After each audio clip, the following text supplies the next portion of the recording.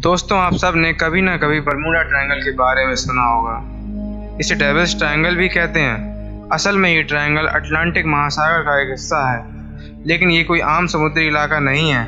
पिछले सौ सालों में इस ट्रायंगल की वजह से पचहत्तर विमान और सौ समुद्री जहाज़ गायब हो चुके हैं, जिसका सही कारण अभी तक लोग नहीं जान पाए हैं। यहाँ पर पहुँचने के बाद कंपास भी ठीक से काम नहीं करता। लोगों का मानना है कि बरमूडा ट्रायंगल में जो घटनाएँ हो रही हैं, उसके पीछे एलियंस या अंधकार की शक्तियाँ काम कर रही हैं। क्रिस्टोफर कोलंबस ने भी यहाँ पर कुछ अजीब रोशनियाँ देखे जाने और कंपास की अजीब रीडिंग दर्ज की हैं, जब वो चौदह सौ बानवे में यहाँ से गुजर रहे थे। इस जगह का नाम विंसेंट ग्रेविस द्वारा दिया गया था, जो कि अजीब घटनाओं के विशेषज्ञ थे, जिन्होंने इसके ऊपर उन्नीस सौ चौंसठ में पल्प मैगजीन में एक आर्टिकल लिखा था। तब से लेकर आज तक ये ट्रायंगल चर्चा का विषय बना हुआ है। हाल ही में वैज्ञानिकों ने बरमुडा ट्रायंगल के पीछे जो रहस्य छिपा था, उसको सुलझाने का दावा किया है।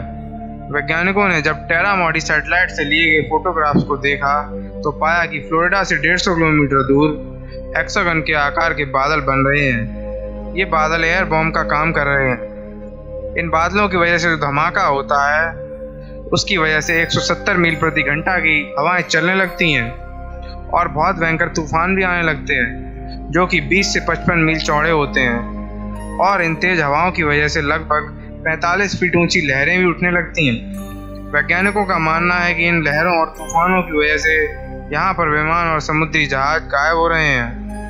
कुछ लोग वैज्ञानिकों के इस दावे से सहमत नहीं हैं और एलियंस और अंधकार की शक्तियों को ही इसकी वजह मान रहे हैं। दोस्तों, इस वीडियो में इतना ही। चैनल को सब्सक्राइब करना ना भूलें, क्योंकि मैं ऐसे इंटरेस्टिंग वीडियो डालता रहूँगा।